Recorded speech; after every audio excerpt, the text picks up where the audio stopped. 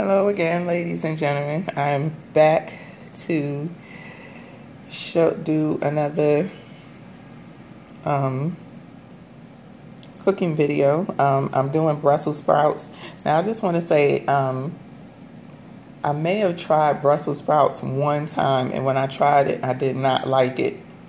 But I thought since you know I'm about I'm back to trying to eat healthy and introduce more vegetables other than mushrooms, spinach, salad, you know, carrots, you know, kind of going out of the box. And I just, these are all the Brussels sprouts that I bought because I wanted to give them a try first. And I looked up a recipe on how to cook them.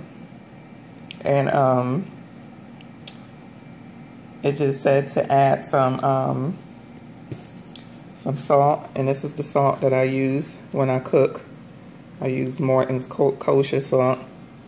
I added some pepper, and um, it says olive oil, and this is the olive oil I like to use.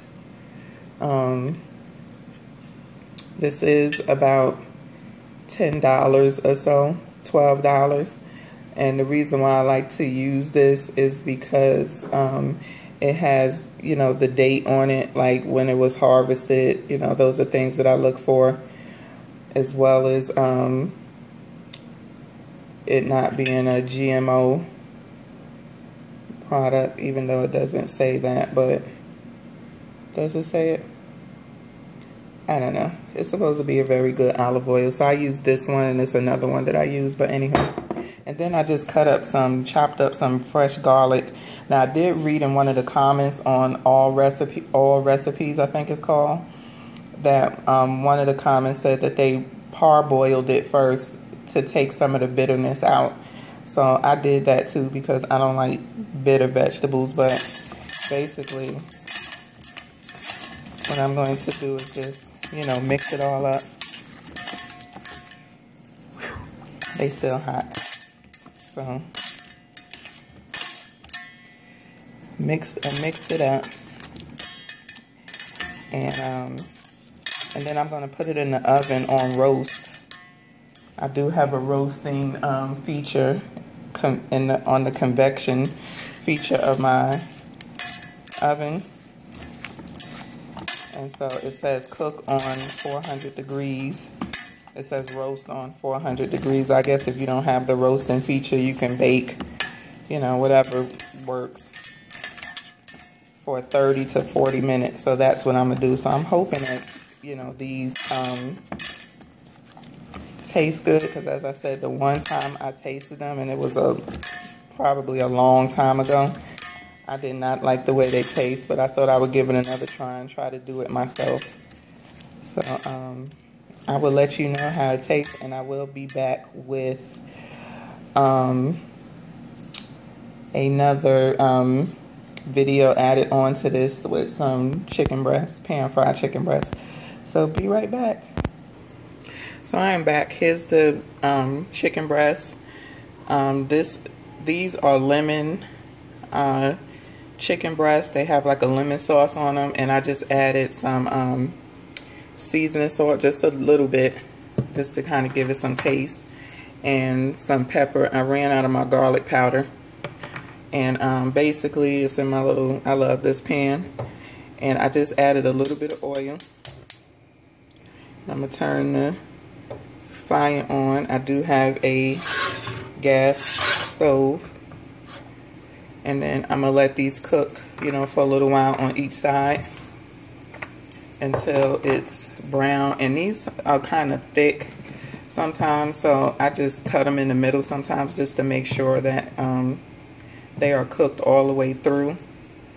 So um, I'm to go and show you the package um, of the chicken, the package that came, that the chicken breast came out of and where I bought it from. So this is um, the package that it came out of is from Wegmans. For some of y'all that are not familiar with Wegmans, they are it is an East Coast uh, grocery store. I came across Wegmans when I lived in Syracuse. I absolutely love Wegmans. They have some of the best store brand um, products that I've ever tried or tasted. Um, as you can see, it's the lemon garlic. And each chicken breast is, it says 208, 220 to 280 calories, 60 to 100. I guess it depends on how you cook it. 60 calories to 100 calories. I normally cut it in half and only eat about three ounces. So, um, each chicken breast is seven and a half ounces. Yeah. So I cut them in half. I don't eat the whole thing. So one chicken breast is like two meals for me. Um, it came in a, they had a small four pack. As you can see, it's two in each um, thing. They also have a four pack and then they have a family pack, which comes with like eight chicken breasts. And they also had a barbecue, um, a barbecue sauce one too. Um, we used all of that. I like the lemon and garlic better. But, um, so I'm to let, you know, my chicken is starting to cook now. Um, and once that finishes cooking, I'm to toss some mushrooms in with it and toss that around, you know, and let that cook for like a minute or so. And, you know, my dinner is done. Um, the oil that I use normally, I will use my olive oil, but I use the rest of it for the Brussels sprouts. So I just use the little canola oil. Canola oil is not bad. It's normally olive oil, then canola oil. So I always keep canola oil in the house as well as olive oil, but I didn't buy any olive oil this month. And that's basically from last month that I had, and so I used it all. But um, I will come back with the finished product if nobody calls me because I forgot to put my phone on airplane mode. So hopefully I could come back and show you the finished um, chicken breast and mushrooms. Okay, see you in a bit. So the chicken is now done. Um, looks good. Um, one thing I forgot to mention about this pan, and I think I got this at Macy's, is that this particular pan, it cooks without any water or oil or butter or anything. It actually is a non-stick, a true non-stick cooking pan. You know, some of them they'll say non-stick, but you know the food is sticking to it, and you know you have to spray it with cooking spray or something. But this is actually a true non-stick um, cooking pan, so you don't have to add much oil to the pan if you do prefer to cook with oil. As you know, mushrooms release water, so that is what the um, liquid is. Because I didn't add a lot of um, oil to the pan, but as I told you before, I cut them in half just to make sure they're cooked all the way through because these are kind of thick. So um, I am cooking something else, so I'm going to show you that. So I'm back over to my counter, and I'm fixing these two pieces of fish because um, I didn't take anything out earlier for dinner that would, one meat that would feed all five of us. So I had two chicken breasts that easily thawed, that I thawed yesterday actually. Um, and I had two pieces of fish that I just thawed not too long ago, put it in cold water. And it doesn't take long for it to come apart, but um, I'm going to bake this fish so at least all of us will have something. You know, and then I still have the stuffed peppers from yesterday, and then we're going to have a salad.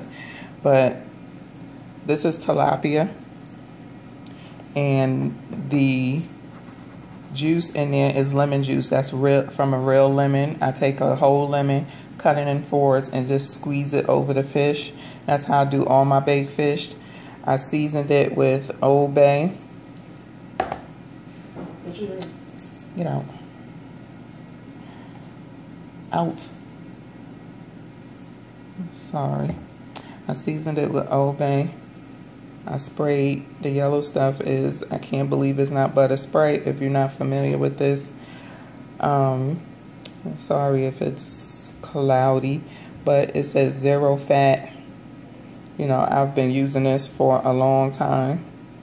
So there it goes. So as you can see, those are the nutrition facts, and this is actually really good. So I've been using this for a really long time, and I've never had no problem with weight loss or being unhealthy or anything using it. Actually, a friend told me she worked in a cardiologist's office, and he recommended his patients to switch to this if they wanted to use butter or anything. So, and then I sprinkled it with a little bit of lemon pepper. And I'm going to just put it in the oven. So I will be back to show you the Brussels sprouts when they are done.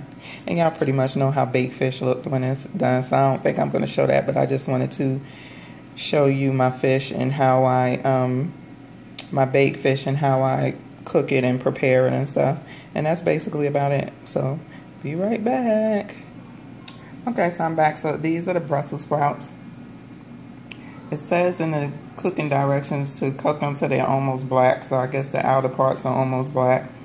It did say to also peel off any outside yellow um, leaves, which none of the Brussels sprouts that I had had yellow leaves. But it also said to cut the ends off. This part right here, which I didn't do, I forgot, but I could cut them off um, as I'm eating them or whatever. Um, they taste really good. Um, I like them. I like the way I fixed them. I will go out and buy me some more. Um, you definitely want to make sure you put your salt on them because if not, they can taste kind of bland. I like it with the garlic. Uh, I left them in the oven for about mm, 50 minutes or so. And I kept turning them, you know, just taking a spoon and, and kind of tossing them you know, like this. I can't do it with one hand holding the phone, but just mixing it up while it was in the oven. And again, I put it on 400 roast. You can do it on 400 bake if you don't have the roasting feature on your oven. Um, but yeah, they're really good. I, you know, I like them. I like the way I fixed them. So there you have it, Brussels sprouts. Very easy recipe. So, um, maybe I'll come back and show you the fish. Hold on. So there you have it. My tilapia is done. It does not take long to cook. I just put it in the oven with the, um, when I had the Brussels sprouts in there on 400, but you can put it on um, 350 if you wanted to cook slower, but tilapia takes less than, you know, maybe about 20 minutes to if you want to make sure it's fully done. Um, so that's it. Those are my healthy dishes that, you know, I have made for tonight for our dinner. And we're going to have some spinach. I do a lot of salad. Um, I buy a lot of salad. They haven't had my mix that I normally buy, so I've just been buying spinach. It's just easier. It's lighter and all I really have to fix is um, a meat and my kids love salad so they could just pile up on it and then they have all of their toppings like I buy craisins um, croutons sometimes the almonds or walnuts or whatever the, the nuts that you put on salads and stuff so I buy all of that stuff and if they want to cut a tomato and cucumber that's in there too for them to do so Thanks for watching. Thank you for subscribing. Please leave your comments in the box below. Don't forget to share on Google+. Plus. Give me a thumbs up. Peace.